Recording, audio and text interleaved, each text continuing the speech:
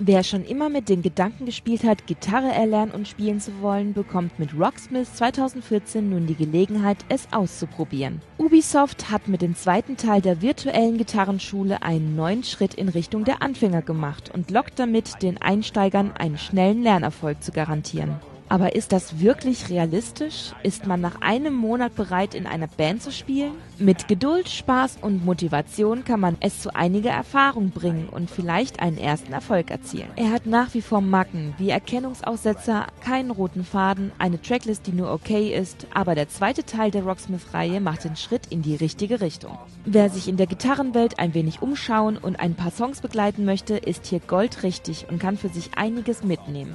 Eine Kaufempfehlung für alle Jimi Hendrixe der Zukunft.